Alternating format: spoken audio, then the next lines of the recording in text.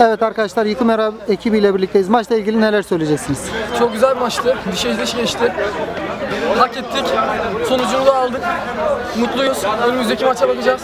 Hedefimiz şampiyonluk. İnşallah bu yolda devam edeceğiz. Evet kaleci sen ne söyleyeceğim bakayım? Benim için iyi bir maç oldu. Güzel kurtarışlar yaptım. Çok iyiydi Mehmet abimiz. Bakalım.